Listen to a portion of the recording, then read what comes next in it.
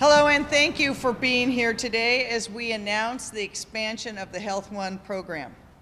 When the chief and I and others were able to announce the original Health One, I predicted at the time that every community would want one, and I think that's coming true.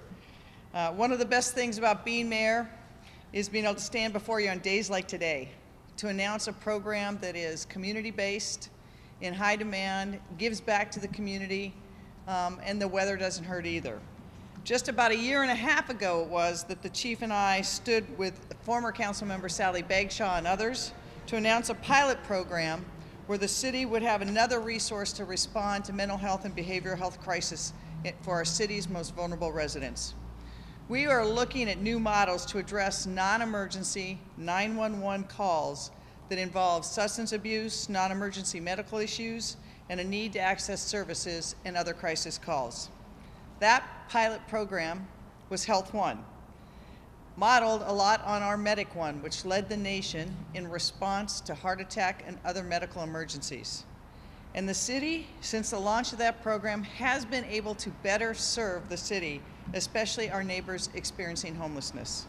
Health One's implementation also freed up our first responders to focus on immediate public safety needs like structure fires and vehicle collisions. Well, today I'm so proud to announce that another Health One unit is ready for service. This second unit will allow Health One to serve the University District and Ballard. Unit 2 will be stationed at a Fire Station 2 in Belltown, which allows the downtown core and Capitol Hill to be included in its service area. But it's really up to the crews, the professional team on board that can respond to any area throughout the city.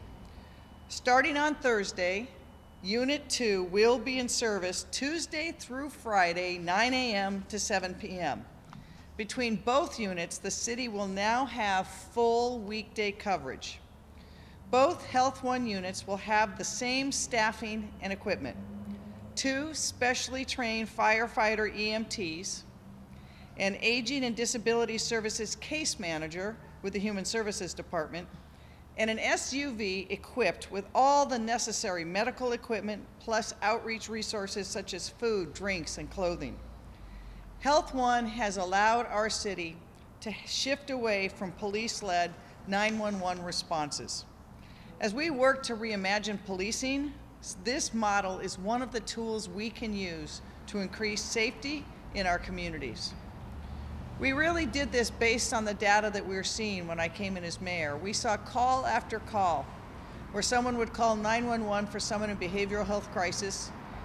Police would be dispatched to the unit, but there'd be no criminal activity and didn't really require an armed police response. Police have very limited tools. They would either be able to de-escalate and send the person on their way, arrest them if they committed a crime and take them to jail, or if they're in a very strong behavioral health crisis, take them to Harborview. So many more options needed to be present. And this unit and Health One have shown that they can come and see what that person needs. Chief Scoggins, I want to thank you. I want to thank the fire department for all of your support of this. Throughout the pandemic, we have asked this fire department to step up in ways that were new and different to serve our community. First, it was Health One in advance of the pandemic but then it was how do we set up a testing program? And it was our firefighters who were on the front lines of going in to our senior homes and the like. Then we set up our vaccination program, and each time we've asked them to step up, they've done it. Um, before I hand this off to Chief Scoggins, in light of that, um, I have a very important thing to announce today.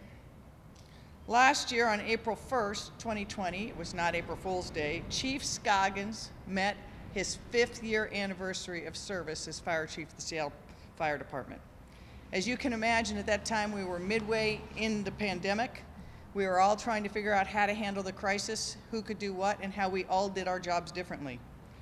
But as mayor, we're typically able to recognize key milestones for people. So Chief, it's a year late, but if you could come forward here, I would like to present you with the Certificate of Appreciation to Harold D. Scoggins in recognition and appreciation of his five years, I should scratch that out and put six years, of all the years excelling, loyal, and dedicated service to the Seattle Fire Department and the citizens of the city of Seattle. Chief? Thank you, Mayor. Thank you very much. And no award in the city government is really an award if you don't have the pin to go with it. That's right. So uh, pin goes with it as well, though I will not try to pin it on you, Chief. All right. And with that, Chief, I'll turn it over to you and let you talk. Thanks very much. Thank you. Good afternoon, everyone. And I must say, that was a very nice surprise on a beautiful day. Um, yeah, it's been six years, and wow, what a six years it's been. You know, I want to thank our mayor because, you know, when we start talking about this idea of how to better serve people in the community that were in need, not of a 911 EMS, ALS type of response, but people who just needed help. You know, this idea really took off with our mayor and Councilmember Bagshaw. And, you know, in November 2019, we were so excited to see the program launch. But so many people played a part in getting this program off the ground. You see uh, a number of our council members here who have been amazing partners to the Seattle Fire Department. Thank you for your ongoing support. It's been a great deal. Our partnership with Local 27, Vice President Jeff Miller's here, has been absolutely incredible. Um, our partnership with Human Services Department, Aging and Disability Services really came together. That's interdepartmental collaboration. Karen Heaney is here, and the case manager works on the unit with our firefighters. And then mostly our firefighters for being willing to step up and stand in the gap. As our mayor mentioned, we have done that a lot, and the public has seen it a lot over the past year. But this is another one of those areas that when our firefighters took the oath of office, little did they know the areas and spaces that they would be working in. And this is another one of those areas. So today is an exciting day announcing the second Health One unit going into service. And it'll be going into service this Thursday on April 15th. And there's been so much work that's gone into that.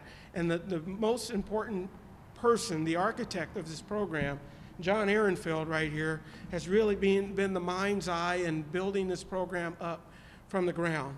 And oftentimes we talk about a good hire, and Jon was an amazing hire. He's been here several years now, and, and we saw the potential of what we could do.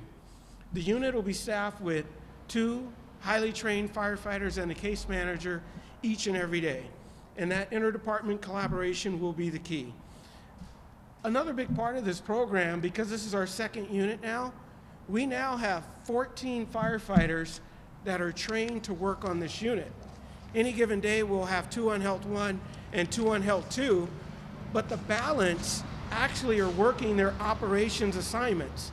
That becomes very important for the community because now these highly trained firefighters are responding to the day to day emergencies and they can actually see when calls need to go a different direction because of the training that they have. In 2019, we were able to launch that first unit. This unit, we're expanding the bubble into the U District and to Ballard, along with the downtown core. But what does that mean? That means we're also going to be able to expand Health One a little bit further south into SODO and down in the Rainier Valley because now we have two units. But it's also important to note that over the last year and a half or so, every one of our aid cars that respond to emergencies each and every day, 90% of our engines, most of our ladder trucks, and almost every one of our ALS medic units have called Health One with a referral. And that becomes pretty important because those referrals are what really take people out the system. So they had eight, over 800 dispatches, but they had hundreds of referrals from our fire companies behind that. So when you see a heat map of where we actually responded to over the last year and a half, the heat map is really lit up in the downtown core. But you will see heat spots all over the city, even with that one unit. Since our launch, 56% of our clients that we serve have been unhoused. That's pretty important. So we are meeting people where they are and providing the service. 42% of the population we have served have been in public spaces.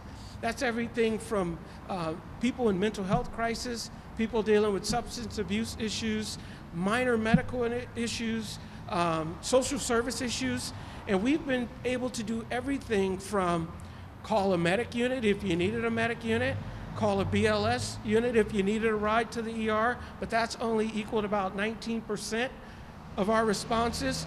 We've been able to get same day medical appointments for minor low acuity um, medical situations, next day appointments. We've been able to give people a ride to shelter, provide blankets, provide foods, um, connect people up with their social workers, help them get their medications. All this provides a healthier lifestyle and get people back on the path that they need to be successful. So I'm really proud of the work that our team has done on this program.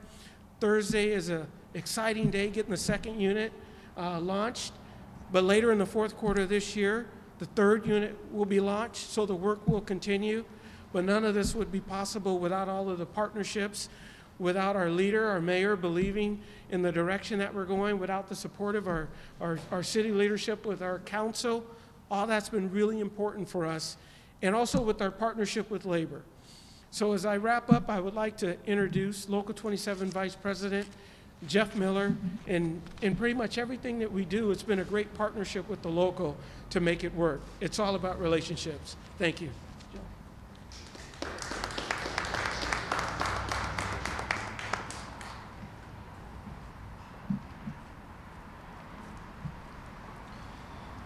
So my name is Jeff Miller.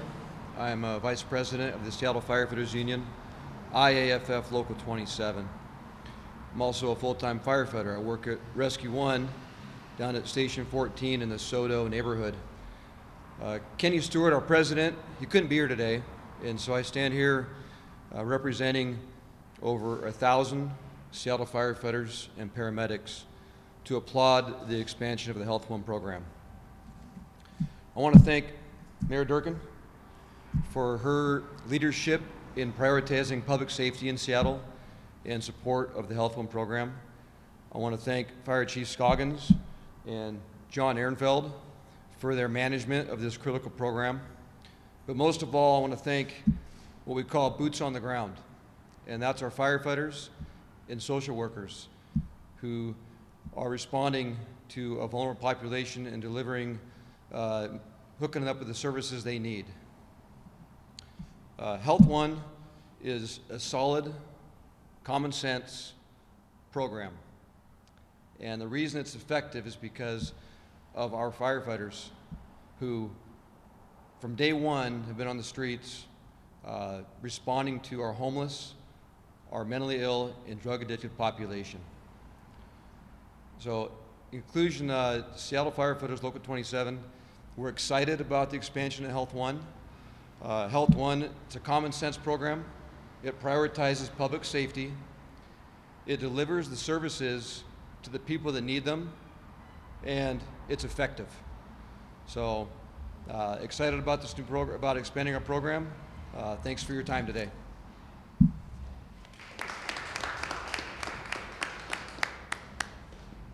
And I think, Jon, you're next. All right, thank you. Good afternoon. My name is Jon Ehrenfeld. I'm the program manager for Seattle Fire Mobile Integrated Health. Um, so, Health One's success is founded on being a multidisciplinary team.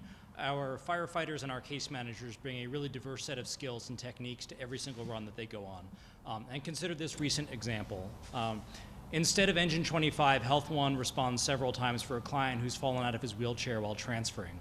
While the firefighters assist him up and check for injuries, the case managers gather information about his services and his benefits.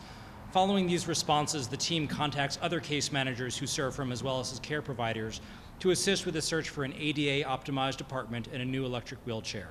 On the next response, they check in with the patient, discuss his changing care needs, and emphasize the benefits of moving to this apartment. The firefighters follow up with the SFD crews in the client's area to keep them up to date. This is a very typical response, and it just goes to show how far above and beyond a standard EMS response um, the Health One crews bring and, and just what they bring to every single response. Um, we're able to field a team that does such in-depth work uh, for our clients because of our strong and very long-standing partnership with the Human Services Department, Aging and Disability Services Division. ADS links the fire department to long-term care, homelessness services, mental health, and more. And their case managers really are the glue that hold our team together. I think that this partnership is what allows us to put the integrated into mobile integrated health. We're really enthusiastic about expanding. We're enthusiastic about expanding to reach more clients and really look forward to this program's growth. Uh, and we're fortunate to be joined today by the crew from Health 2, our firefighters, and one of our case managers uh, who'll be available afterwards to answer some questions. And lastly, of course, thank you to uh, Mayor Durkan, to City Council, the Fire Chief, Human Services Department, Local 27, Local 17, and of course all of our MIH staff. Thank you.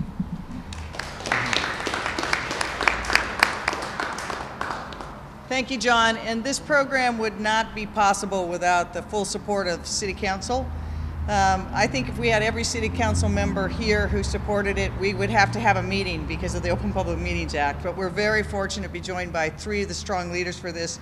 And the first one will speak is the council member who represents this district, Councilmember Pedersen.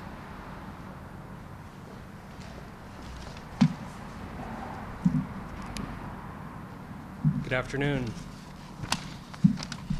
We know we need to expand our response to people experiencing homelessness and distress on our city streets. Expanding Health One is a smart and compassionate response. And so I applaud Mayor Durkan, Fire Chief Scoggins, local firefighters union Local 27, and their teams for expanding this proven pilot program that combines firefighters and case managers from our Human Services Department to prevent more expensive and dangerous situations throughout Seattle. As the council member who represents the University District, I can say our shared goal here is a more effective intervention that proactively links each person in crisis on our streets to the essential mainstream services they need, rather than reacting and sending them to expensive emergency rooms. Expanding Health One will enable our highly capable and compassionate city government professionals to connect more people with the help they really need so they can start thriving instead of just surviving as we emerge from this COVID crisis better and stronger together. Thank you.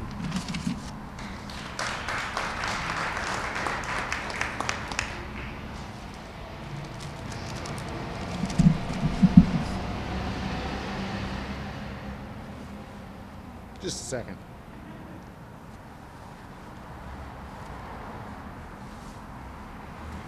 Uh, good afternoon. My name is Dan Strauss. I'm the council member from District 6, Ballard, uh, Green Lake, Fremont, and many other sub neighborhoods. I want to first uh, start by thanking uh, President Stewart, who could not be here, Vice President Miller, Chief Scoggins, the mayor, my co- council colleagues, and Councilmember Bagshaw, as well as Allison Wright uh, for making this program happen. One of the reasons that we're here today is because, as the mayor noted, uh, it was maybe 16, 20 months ago that we had the pilot program for Health One launched. So the pilot has been running for uh, the last uh, good amount of time, and this concept has been proven. The proof of concept is complete, and this is our opportunity to expand Health One to be Health Two in the fall, Health Three, and I will tell you here and now, I will be excited to be uh, providing the budget, budget dollars needed for Health 22. Um, Jon Ehrenfeld made a, a remark and told a story today that was very illustrative of the work that Health One does. What I want to kind of focus in here is when we don't have Health One to call, we send a fire engine, a medic, a police officer, an AMR to transport them to uh, an emergency room where the underlying issue that is that the reason 911 was, one was called in the first place is never addressed. That person is returned to where they wherever they have come from, only to likely call 911 again in several days.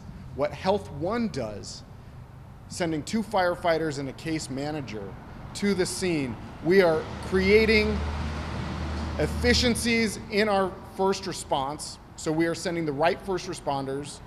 We're sending them in one vehicle with a case manager, and we're allowing them to follow up with the clients that they work with into the future. So not only are they being more efficient with the service delivery on the first call, they're reducing future calls that are needed to 911.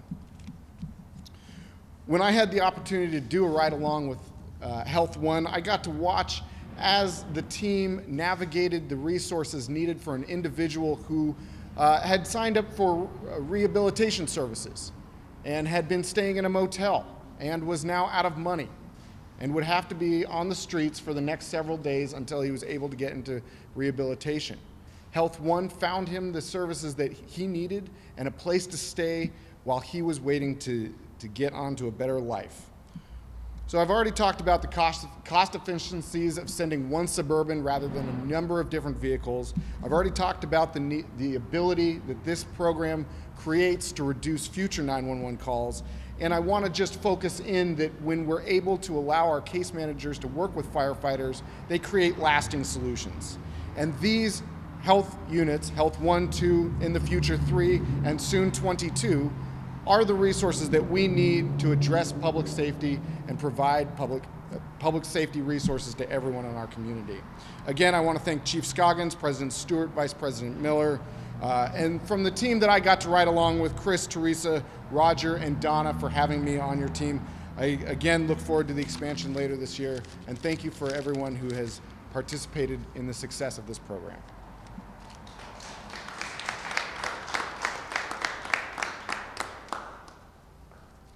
And uh, now hear from Councilmember Herbold, who is Chair of Public Safety Committee, has from the very start been a very strong supporter of not just this program, but this approach uh, and the fire department in general. Councilmember Herbold.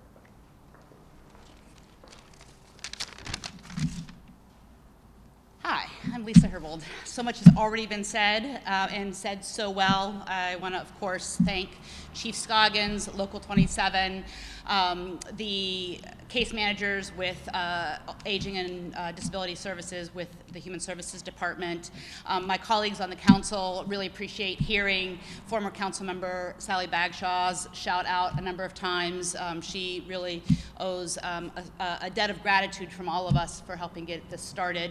Um, and again, appreciate that the mayor included funding for this unit um, in last year's budget. The council added to the budget for the next unit that we're going to be seeing expand in the fall.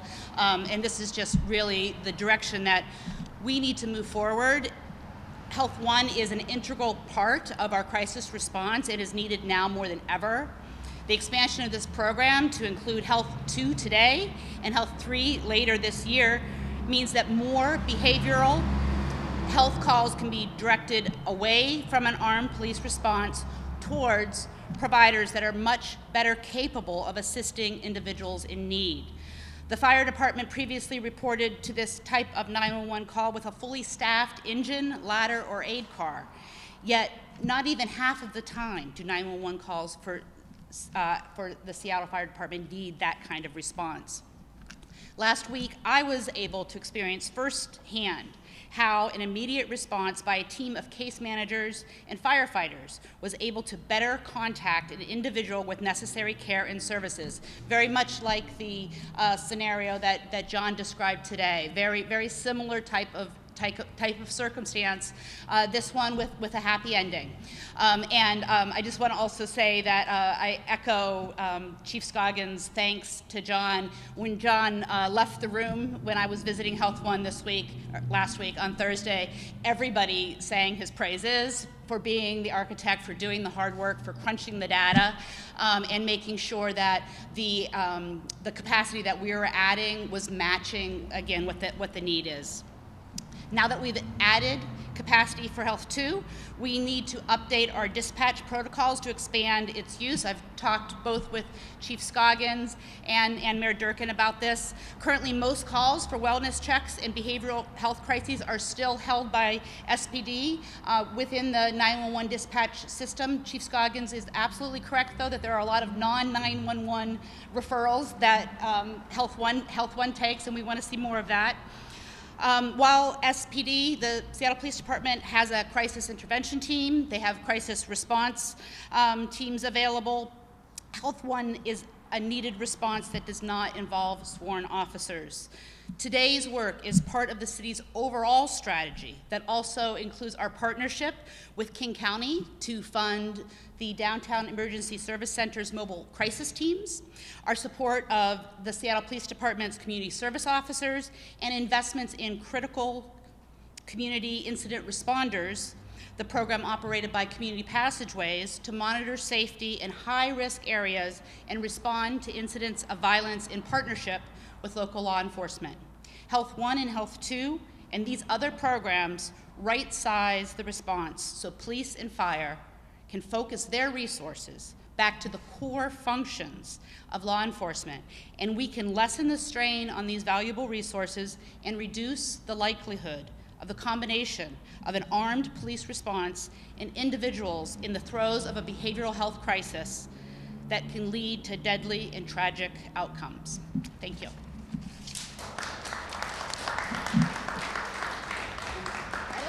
All right, hand it back over to the mayor. Thank you very much. Again, I just want to emphasize, um, I think what you're seeing is this model came from what people saw as a deep need in our community.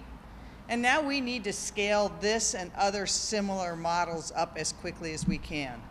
We know what community needs, and we know we need a range of responses to the crises in our streets. Um, I, when I came in as mayor, we saw that the, of the top five places where police and fire were responding, three of them were uh, homeless shelters. And having police and fire respond with that kind of response or to someone downtown in behavioral health crisis was not only inefficient because you would have some of the most expensive response our city can have, but we weren't getting to the right results.